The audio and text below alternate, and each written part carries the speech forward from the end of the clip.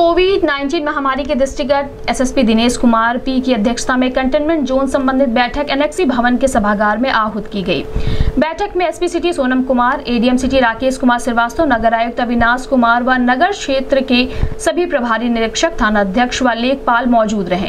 बैठक में corona positive लोगों के लिए बनाए गए कंटेनमेंट जोन और कोरोना रोकथाम हेतु किए जा रहे कार्यों की समीक्षा की।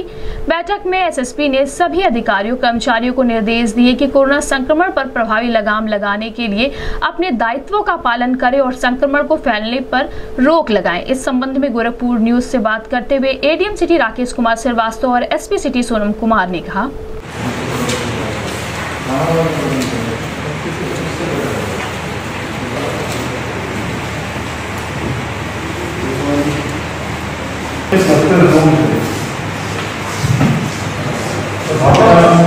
मियाँ बजा करके तो क्या एक ही मियाँ अलावा तो नहीं है या और नहीं है नहीं सर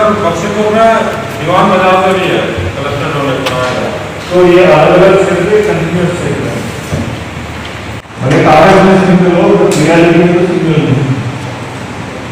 तो तो उसको डील करने के लिए क्लस्टर बनाया गया तो ये कि इसे 50 मीटर रेडियस रखा गया है, जहाँ पे पॉजिटिव केस और 60 घर अप्रॉक्सीमेटली जिसको हम लोगों को सैनिटाइज कराना है और जहाँ पे रैंडम सैम्पलिंग कराना है। बेसिक कॉन्सेप्ट यही है।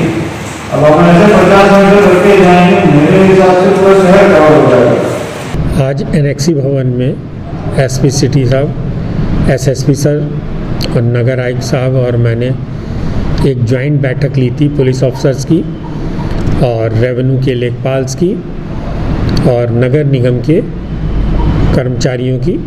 कि कंटेनमेंट जोन एरिया में प्रॉपर सैनिटाइजेशन हो और रेवेन्यू डिपार्टमेंट के लोग प्रॉपर देख लें कहाँ कहाँ से कौन सी गलियाँ सील की जानी है बैरिकेटिंग की जानी है और कहाँ से एंट्री और एग्ज़िट पॉइंट सबसे एफिशिएंट रहेगा जिससे कि जनमानस को भी दिक्कत ना हो और कंटेनमेंट जोन के उद्देश्यों की पूर्ति हो सके।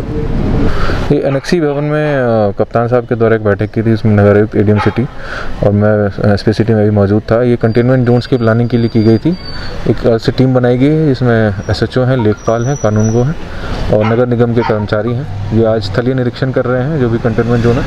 वहाँ जो भी कमियाँ पाई जा रही हैं, उनको ठीक किया जा रहा है और सारे कंटेनमेंट जोन्स को एक्टिवेट कर दिया गया है। और आगे अगर कोई भी केस नहीं आता है यहाँ पे तो चौदह दिन बाद इसको डिसमेंटल करके नई जगह बनाया जाएगा जैसा भी है। तो कंटेनमेंट जोन्स के रिलेटेड मीटिंग थी और उसमें सबको आवश्यक दिशा निर्देश दिए गए थे। सर आवश्यक ज़रूरी सामान के लोगों के लिए क्या किस तरीके से ज़रूरी सामान की सूची बना ली गई है जो भी किराना की दुकान है उनके मोबाइल नंबर वगैरह और दवाइयों के भी और फल दूध सब्ज़ी सबका अरेंजमेंट जो है किया जाएगा प्रशासन के द्वारा किया जाएगा। और जो एंट्री पॉइंट रखा गया है कंटेनमेंट जोन का जहाँ बैनर लगा हुआ है वहाँ पे ये सूची उपलब्ध है। वहाँ से कोऑर्डिनेट किया जाएगा। इस प्रोटोकॉल में उसका पालन किया जाएगा।